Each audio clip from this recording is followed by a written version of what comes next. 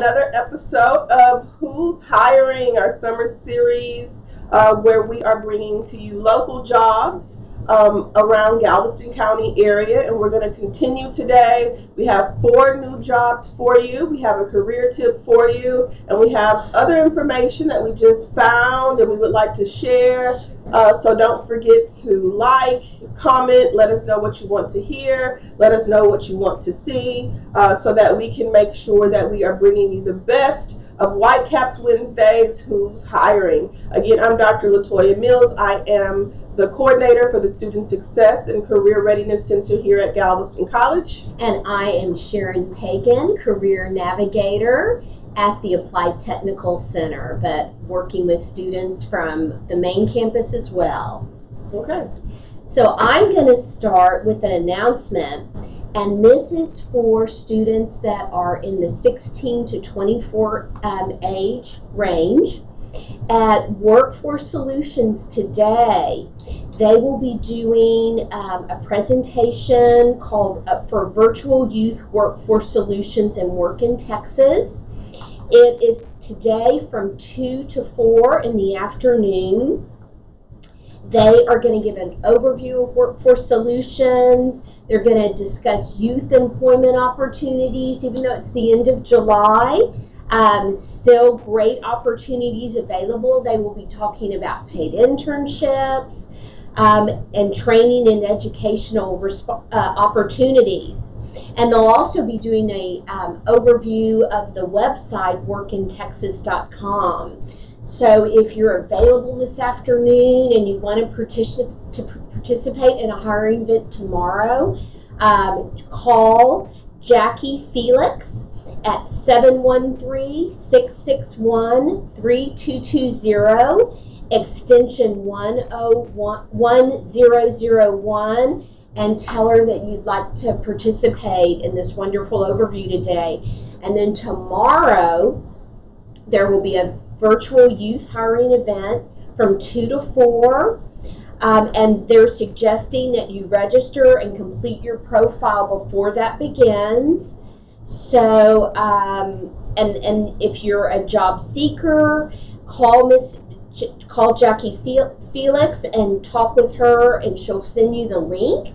Um, if you're a vendor and are looking for for youth 16 to 24 to work for your company, again call Jackie Felix 713 661 3220 extension 1001 and she will give you the link for vendors. Great job. So, is there an age range for the youth? 16 to 24. Okay. 16 yes. to 24. So, that's a wide gap. Yes. All right. So, that's what's happening today and tomorrow. So, hopefully, some of our youth can take advantage of that. Um, so, um, some of our young adults will be taking advantage of that. And thank you to Workforce Solutions for all the hard work that, that they are doing out there. Absolutely. So we're going to get moving to our job opportunities. Um, and I'm going to start today. So last Who's Hiring, I focused on business and industry.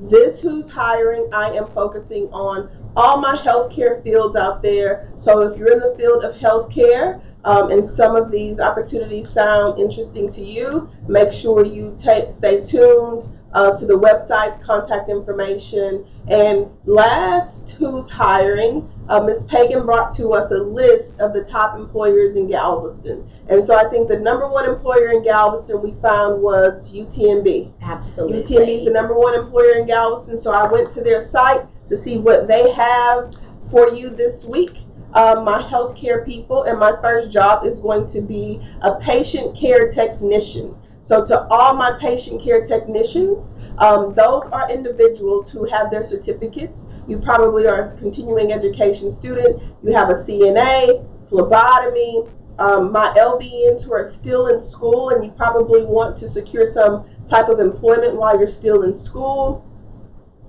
Um, who else? So, my medication aides, my EMTs, any certificate in the healthcare field, you could apply as a patient care technician at UTMB. So this first position is a patient care tech position in the ICU.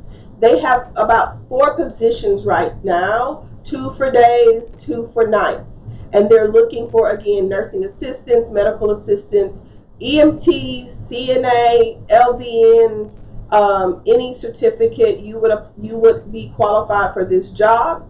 Um, you have to provide technical assistance and supportive patient care to meet the needs of individuals and patients throughout the assigned areas. Um, and like I said, this assigned area is the ICU. They're starting at about um, 12.23 an hour, um, and that is dependent on your experience. So if you have a six-week cert, right, our uh, six-week phlebotomy cert, a six-week CNA cert, this would be ideal, 12.23 an hour, for you to go on the UTMB website. It's utmb.jobs. UTMB.jobs, you would be an external applicant, and on the face of that page, you can go through and see all the patient care tech positions that are now being um, sourced for the UTMB. This is the League City campus. Let me say that that League City campus is expi- uh, expanding, not expiring, but expanding. that campus is expanding. So, to all my patient care tech positions um, or students, this is a great opportunity, and I hope you take advantage. Again, the website is utmb.jobs. Um, this is the ICU. They're looking for two days, two nights at 12.23 an hour, um, and hopefully this will help somebody out there. Excellent. Thank you, Dr. Mills. You're welcome. So, one of the our uh, largest employers in Galveston is the Galveston Independent School District. So, I'm going to follow with a fantastic opportunity for HVAC students. So, um, the Galveston Independent School District, there is the job title is Child Nutrition Commercial Kitchen slash HVAC refrigeration. And um, I spoke yesterday to the director of child nutrition. Uh, this is the person that will be hiring this individual. Her name is Jennifer Douglas. She's delightful, um, energetic, warm. Um, I enjoyed getting acquainted with her so much. And um, the salary is $19.31 to $22.72 per hour.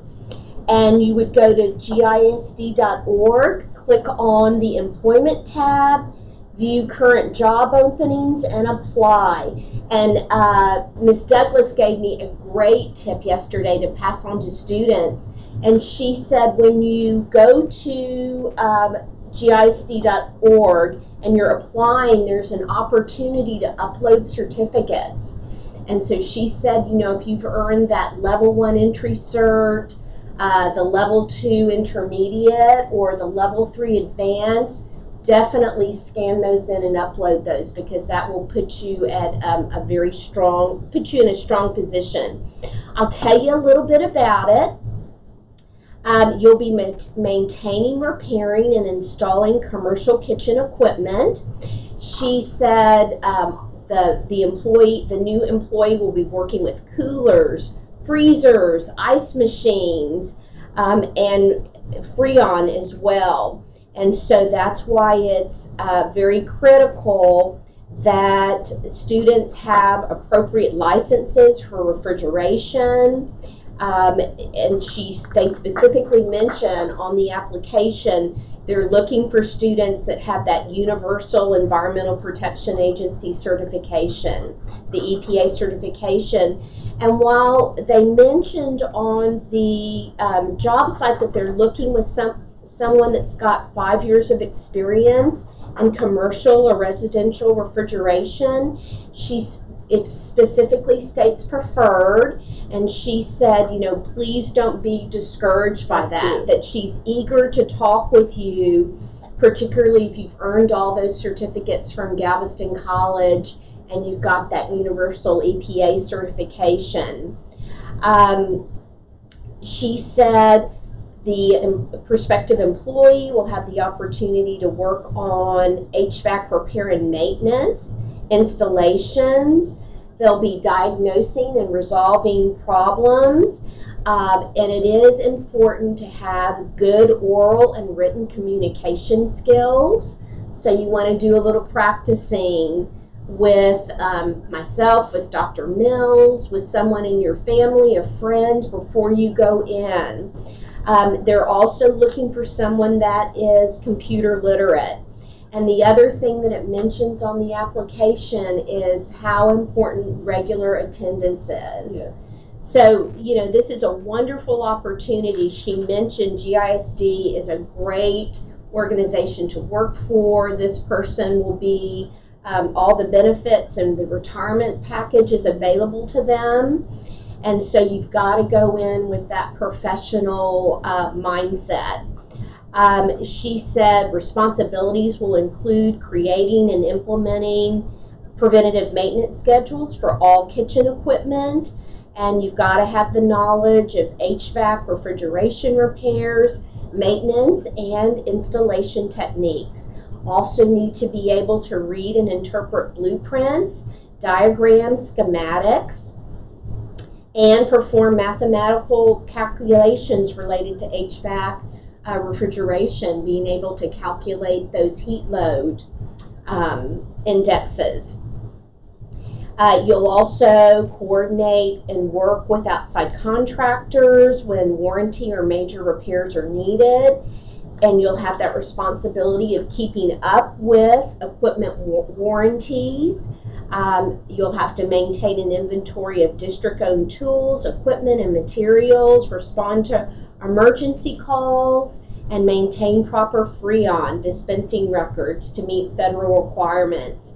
And so she said that they've got one person right now that's covering all Wow. of, of, of you know these demands in their division and so she is eager to hire someone with the skills but also with that comes in with a great attitude and will mix well with their team she said it's a very um, cohesive team in, in child nutrition and so um, excellent opportunity for students with hvac degrees Yes, that sounds like a really well-rounded opportunity too. thank you dr mills Hopefully, yeah. one of our students will get that job. yes All my new HVAC graduates. yes Okay, so my last position um, is also coming from UTMB, and it's several positions as I was going in and trying to find the best opportunity for our healthcare students. Um, and I want to talk to our VN, our vocational nursing students.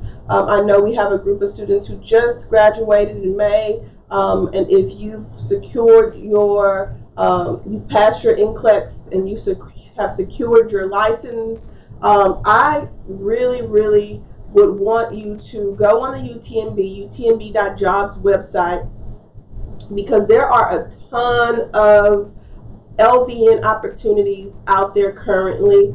A lot of them are going to be in the UTMB corrections units. So um, I'm seeing at least 10. You have Carol Vance unit, the Beaumont unit, the Kennedy unit, uh, the Kula unit, is it? Cotulla unit, the Beeville unit. If you are okay and that sounds like something that interests you, you can go to the UTMB website, utmb.jobs, and you can find all these positions out there um, for LVNs being hired in our correctional facilities. Their salary right now is anywhere from 38,000 to $57,000 a year. That's a great starting salary for a student with a one year certificate. Um, so, again, UTMB.jobs, there are tons of LVN positions, and they're looking for someone who has gra- just graduated um, and they possess their current license, uh, their LVN license. Um, and this one that I'm looking at for the corrections facility says no experience required. So this could be a stepping stone, a starting place where you can earn that nursing experience, get that hands-on training, and then expand yourself into other nursing areas. Um, that's not the position that I wanted to tell you about LVNs, but I just wanted you to know that there are a lot of VN positions out there on the UTMB website right now. So go out, check them out, uh, make yourself available, apply for as many as you can, and hopefully our LVNs would land a position sooner than later. And I always say you have to be flexible. It's about getting your foot in the door and making sure that you secure some experience, and then we can do those things that you really, really want to do.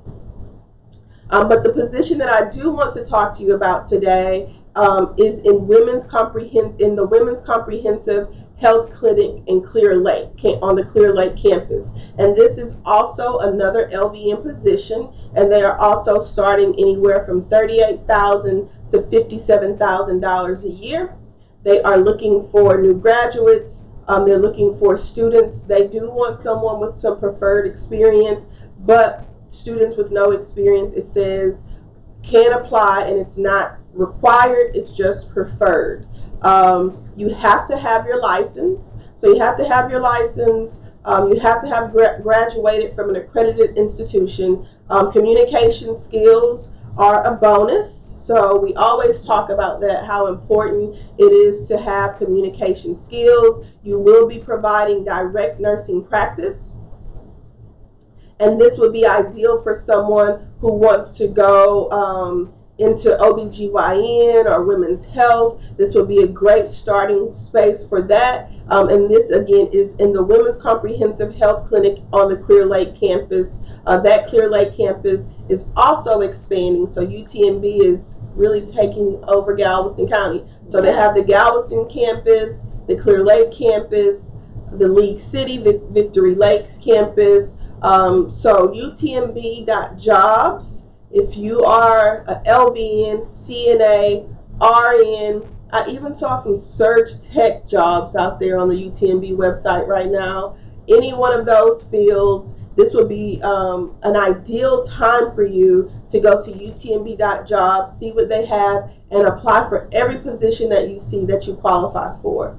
Um, and you never know what may happen. So, to all my healthcare professionals who just graduated, all my students, you may have graduated last year and you're just wanting some change, looking for different jobs. Again, for LVNs, I saw 10, 15 jobs out there um, that you can apply for as long as you're flexible, you're keeping your mind open about where you work, what you want to do. Um, there's opportunities out there for you.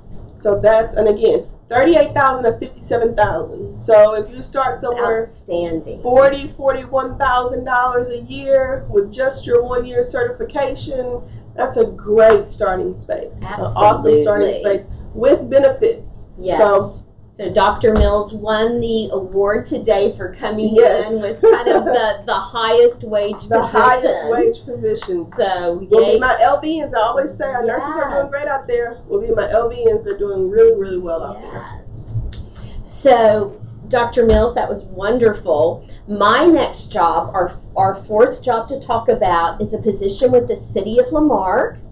Um, it's a, they're looking for a finance specialist with someone that's got an associate's degree in business administration. The salary is $16.42 an hour.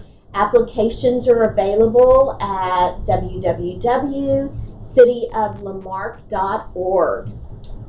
So, this finance specialist, the description is they'll assist in any or all the facets of finance mainly but not limited to accounts payables, procurement, and the general ledger. Uh, they're looking for someone with an associate's degree in business or a related field of one or two years of municipal experience. So, again, if you've got that associate's degree, I think it's going to kind of put you at the top of the heap. Uh, you have to have that they're looking for someone with a general knowledge of office accounting methods and procedures, the ability to organize and effectively process and maintain financial records and files, and repair reports for management. This individual's got to have the ability to analyze and record information and balance figures. And again, you just go to the website and complete that application. Um, and so to summarize, they're looking for someone that will work in finance, accounts payable, procurement, internal audits, and the general ledger. Um, you've got you'll be doing duties such as processing and scanning vendor invoices, um, completing check requests and POs every week, reconciling the uh, monthly vendor statements for payment processing, and assisting with inquiries regarding accounts payable, purchase orders, requisitions, encumbrances, invoices, and other uh, related areas. So I'm just listing a few of the duties and responsibilities, but if you go online, um, you can look. There's um, many, many, many uh, duties and responsibilities involved in, in this job. So great opportunity, I think, for our associate degree students, students that are earning that business and an associate's degree in business with the city of La Marque as a finance specialist. That's an awesome opportunity. Thank you. Okay. So um, hopefully these jobs help someone. Um, if there are students out there and you've taken any of these jobs, you've applied, you've gotten a job, please let us know. We want to highlight you. Um, letting you know who's hiring. We don't just want to come to you giving jobs. We really want this to be impactful. We want this to be helping our students. So if you've benefited from this segment, this series, please, please let us know. So we're going to move on, and we always end with the career tip. Yes. Um, so the career tip, don't forget that we are currently in registration season for the fall. And so all of our students out there, if you have not registered, now is the time to register.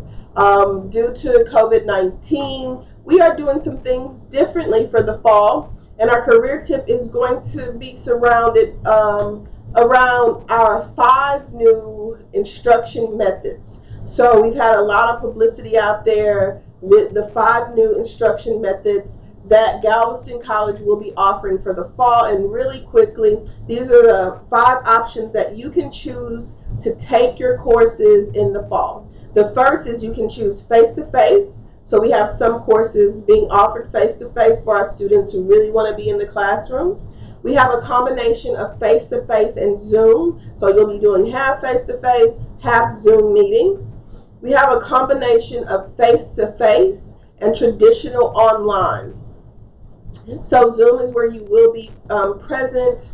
There will be a meeting time, traditional online. You're not necessarily present, but you do have your deadlines. So you'll have face to face, and that's what we call a traditional hybrid course face to face, traditional online. And then we have full Zoom classes. So you'll be meeting at a specific time on Zoom uh, with that instruction instructor. We have traditional online instruction. And then we have a combination of all the options. So those are the ways that you may uh, see your instruction being facilitated throughout the fall semester. It is up to you to go to the class schedule, to locate the class and determine, you know, what classes fit your specific method that you require for the fall. So our our tips, our career tip today is we want to assist you and give you four tips on how you can balance your work life and your academic life.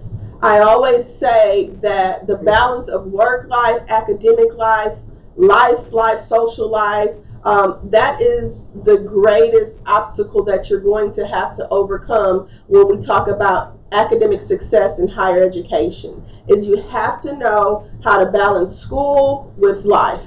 Um, and if you can do that most of the time you'll be successful but you have to go to class too and do your work. But that balance is a big part. So we want to talk to you about how do you balance this work life and how do you balance your school life so that you can be academic successful. The first tip that I have for you is with the five instruction methods, choose the best method for you. Okay? So if you're a student um, and you work 40 hours a week and you know that I am not going to be successful in a fully online course because I forget stuff all the time right? I need to have somebody look at me and hold me accountable. I need a time, I need a day. Then don't choose an online course. If you know that an online course is not your best instruction method, don't choose that. So my first tip is we have to choose instruction methods that work best for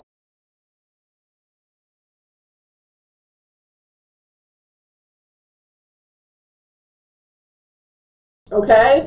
That's the first tip. Is choosing a can blend easily with your work life as well as your learning style.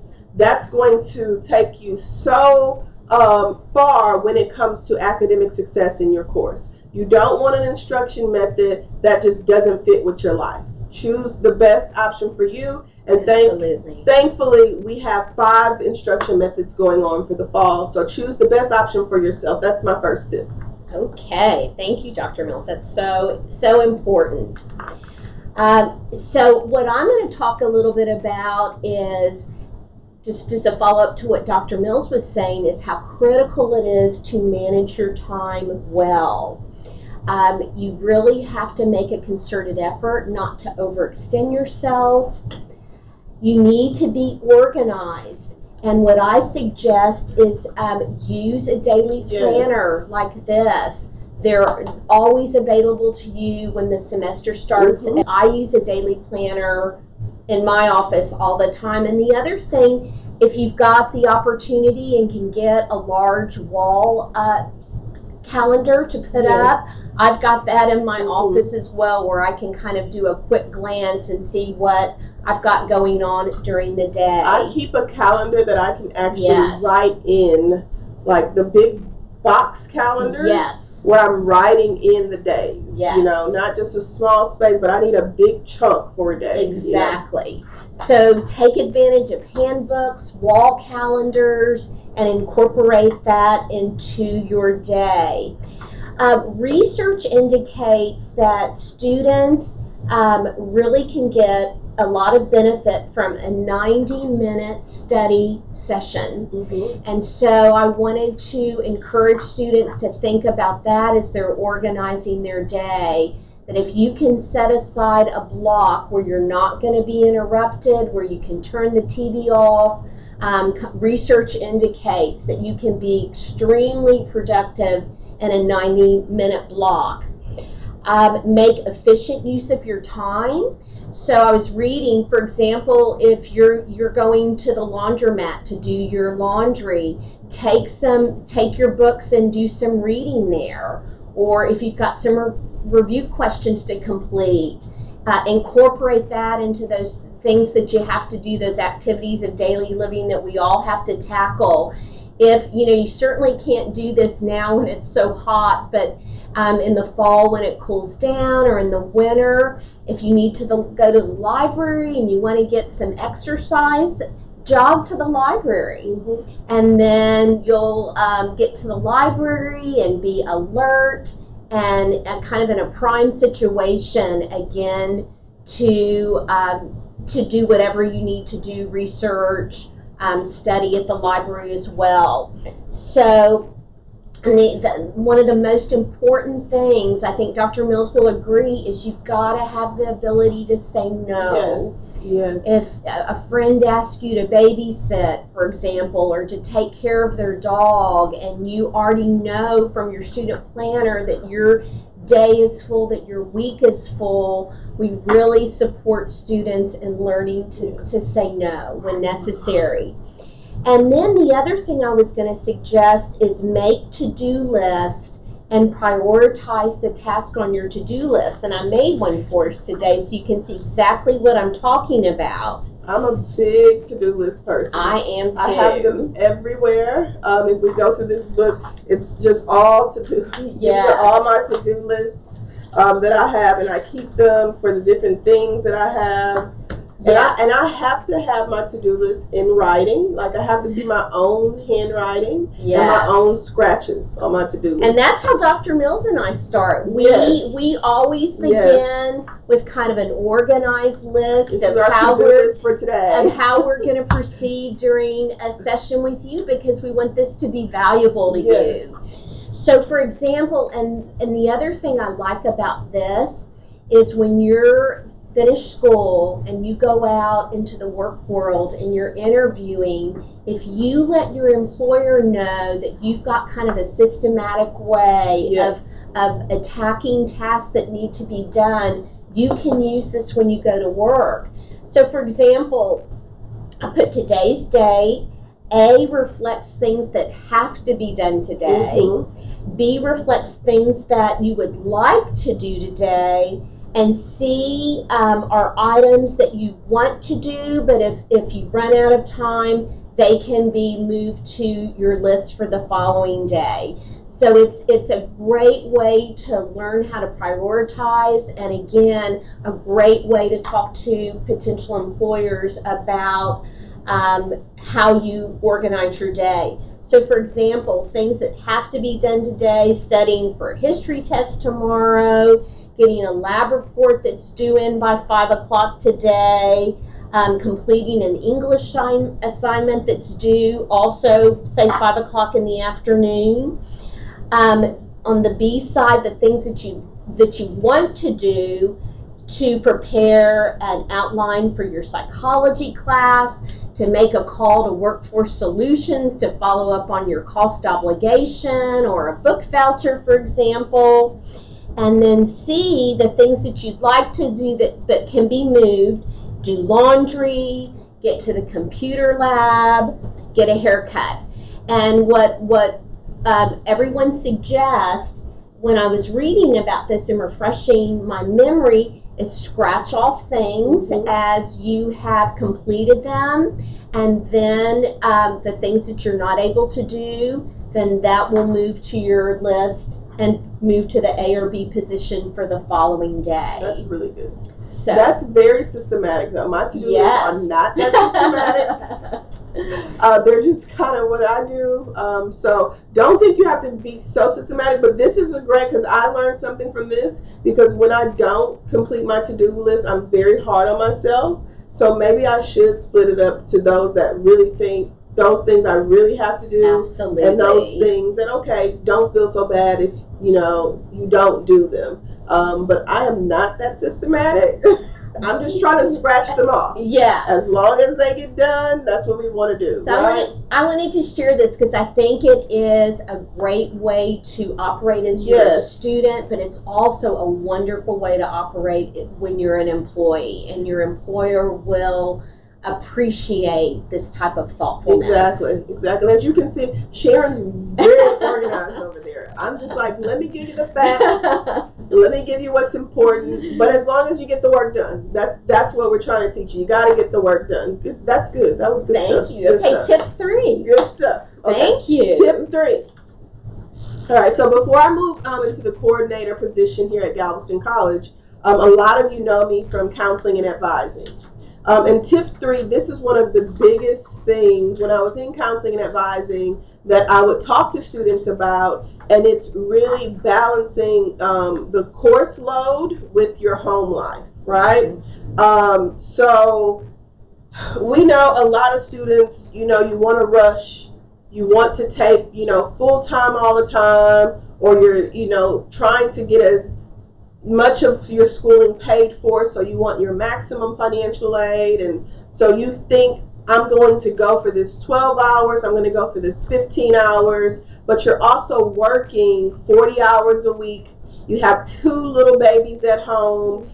Um, and we know schools are going more into virtual instruction even for the kids. And we got to make sure the kids are doing their homework. You're doing your homework. You're doing the work that you need to do at work work so that you can pay the bills. And you find yourself starting really really good. You know you start the semester really good that first two weeks because what we know is semesters always start slow and midway through somewhere they just pick up and go so fast. And i've seen this so many times where students be, they're gung ho at the beginning, and by the end they've come in and they've dropped half of their course schedule.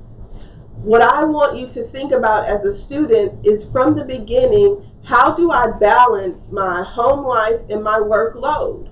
When you're making your schedule, we really want to make our schedules based on the fact that we want to be academically successful the goal is not to take a thousand classes at one time, and it's not a thousand, usually it's four to five. The goal is not to take four to five classes at one time, and then by the end of the semester, I only ended up with two.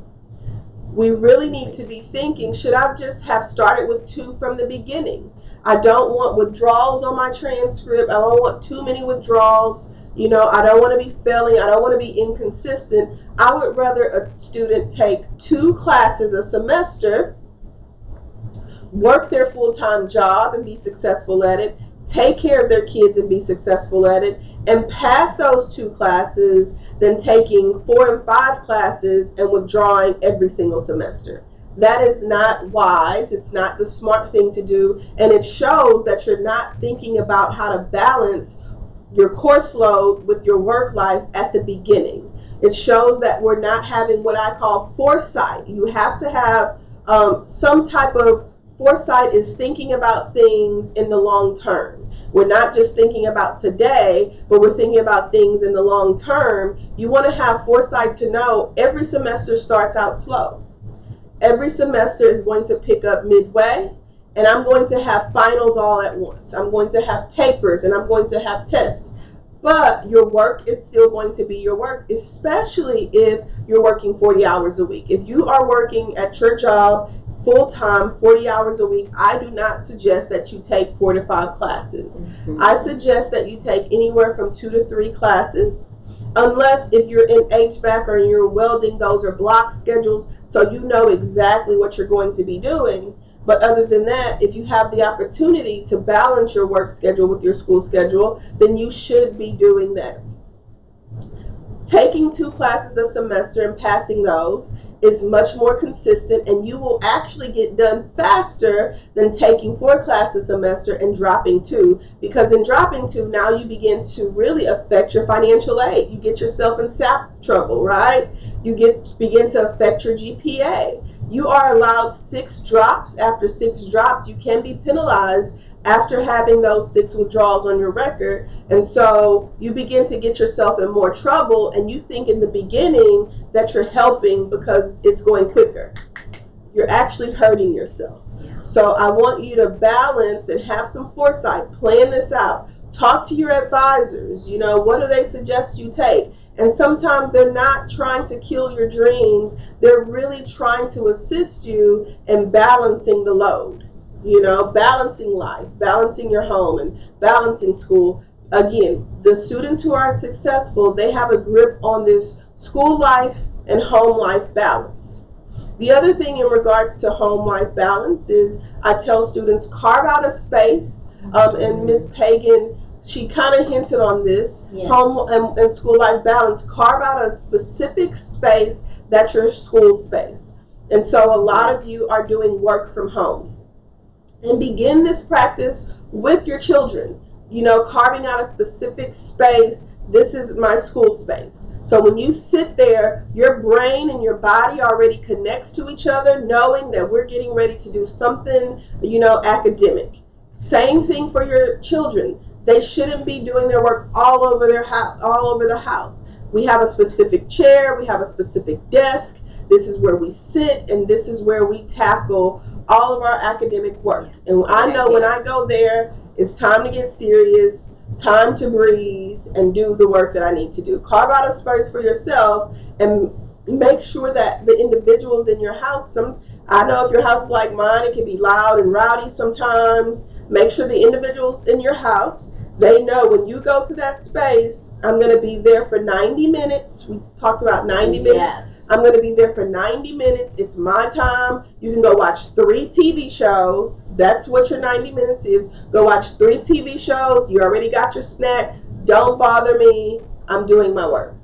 Carve out that space for yourself. And the more you do that consistently, the more the family will know okay, she's serious. Don't play with her. Don't play with him she's trying to get her work done. Yes. So that's my second tip is think from the beginning about your course load. So if we're working 40 hours a week, we should be taking two to three classes. But also, how do I balance my home by carving out spaces, by letting everybody know this is what I'm doing, having silent time, You want to really balance those. Um, and I'm telling you, doing this, if you can go on campus, if we're open for campus, we really don't know how open we're going to be, but I would always tell my students, don't leave campus until you've finished all your work. So that's a good tip too for the balance is don't even go home. Stay on campus as long as you can. Go to the library, come to the Student Success Center, and that way when you go home, you don't have to worry about work because you did it all before you left the building, right? So don't even go home. I was that student. I could not go home until I finished all my work. I have to do work in the library. I, I just had to. If I wasn't in the library, same when I wrote my dissertation, I was always in the library, midnight, two in the morning, because I could only think in the library. You know, I couldn't go home because somebody's pulling at me. They want me to cook, clean, do all that. You know. so balance balance that work life load. Great, great, great ideas for the, the students to um, incorporate into their plan. I love that about using the library and the Student Success Center that's available to everyone that's a Galveston College student. So we're going to end with talking about the last tip, which is to study sm- smart. And again, studying smart has a lot to do with time management. It's all about organizing your time. So before you start to study, make a plan. Decide exactly what you want to get done and the order and that you're going to do the different tasks that you have. That's a to-do list. Yes, another to-do list. And and be specific. That's so important that you decide you are going to commit to reading pages 125 through 150 and you're going to do, do the review questions at the end of the tra- chapter. So that's what I'm talking about. When you create a plan, you've got to be that specific. And uh, the other thing that I suggest is that you always allow for more time than you think you're going to yes. need um, to be on the safe side. If you have something to memorize, work on that first. Put that at the very front of your list then the tip is to go over it again at the end of your study session. And and you know what what I think a lot of students don't understand when they're coming into college, I know that the students, I've had this discussion with students at the Applied Technical Center, they feel like if they go to class, that's that's adequate. If they spend that time in class, then they should earn a good grade. And if, as Dr. Mills just said, it's what you do outside of class. Yes. Being in class is a given. Yes. But it's what you do outside of class. And so make sure that you've got time to do some work initially and then to do review work at the you know you that you fit that in in those 90 minute study sessions uh, do your difficult assignments first when you're fresh and alert. Take regular short breaks. Get a drink. Get up and stretch. Do a downward dog if you're a yoga person like me. Or go for a 10 15 minute walk. Take, take a little, get some, a little, literally, literally fresh air. Um, and know, is, is, again, as Dr. Mills was saying, it's so important for you to get to know yourself. Mm-hmm. And some students study best at night, other students are more focused during the day, and so, or in the morning. So, know when you're at your best and organize your day so that you're able to study when you find yourself most productive. Yes. And I wanted just to end with this quote. I, I love this. Um, as a general rule, the more senses you involve and the wider variety of methods you use while studying, the more you're going to remember. And this is a quote I'm going to share with you um, that was said by William Glasser, who's an expert in the field of education. And he said, Students learn 10% of what they read, 20% of what they hear. So, again, the advantage of a study group mm-hmm. sometimes. 30% of what they see, 50% of what they see and hear, 70% of what is discussed with others, again, the benefit of those study groups, and 80% of what they experience personally when you're doing lab time. Um, and 90 95% of what you have the opportunity to teach someone else. I I was hoping it ended on that. Thank you. Yes. Thank you. So so just just things to think Yes. about so that you can study smart. Yes. And and I was hoping it ended on that because that's one of my number one rules is participation and being able to teach what you learn. Yes. So if you can teach what you learn, um, and one of the ways that even in reading, and when we talk about studying, reading, academic success, we know comprehension is a big thing.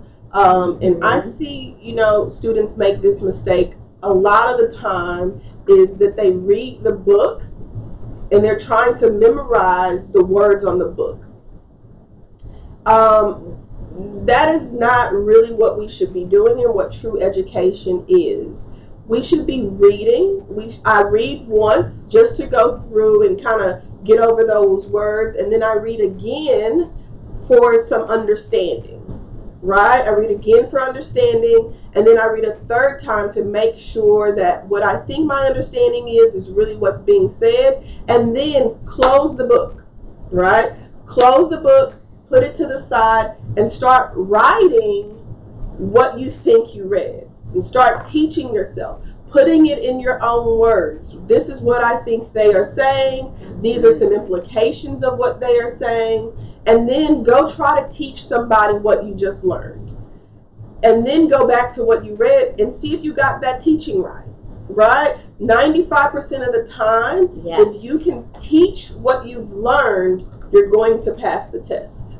You're going to. It's because you know it. It's in you it, it's going to come out in your if you can teach it it comes out in your own words. It's not just you taking the book and what the book is thinking. You can begin to elaborate on it and then you have papers to write. It's easy to write a two page paper about something i can teach because i know where to elaborate it right? Th- so I totally agree, and I say that to my students all the time. Group work is really good because it allows you the opportunity to teach. And if you can teach it, then you know it and you can pass the class. And maybe one day you'll become the teacher of that class. Who knows? Who That's knows? right. Who knows? We, you know, that the um, department head of welding technology, the applied um, at the Applied Technical Center is James Love, Yes. and he is a Galveston College graduate. Look, I'm sure he was in groups, in labs. I'm sure he was that student teaching the other students. Yes. I'm sure to become the director of the department, you have to be that student who's teaching other students. You just have He's to be. phenomenal. He is. I love Mr. Love. Shout out to Mr. Love. Shout out Miss Love. Yes. Okay, so we helped you. Is that it? Is that that's the end of those career tips? Um, Mhm. So again, we want you to choose the best option for yourself when it comes to the instruction. We want you to manage your time, balance your course work life load, and think about study skills and how you study. The best ways for you to study. Those are our career tips for today. Um, thank you for joining us. This is our fifth. Was it fifth or sixth? I think. We're losing yes. count. Yes. fifth Who's Hiring episode. Um, and the summer series is almost over, guys. Next uh, time we come to you will be August 5th, Yes. and that will be the last edition of the summer series. So that's the last edition of the summer series, August 5th. Um, again, send us some comments. Let us know what you think, if this is helpful, beneficial. Um, if you can get to us in time, maybe you can be the person to give us our next career tip. Yes. Uh, if you have some job, if what what are you looking for? What jobs are you looking for? And maybe we can try to find a job for you. Send us a comment on that.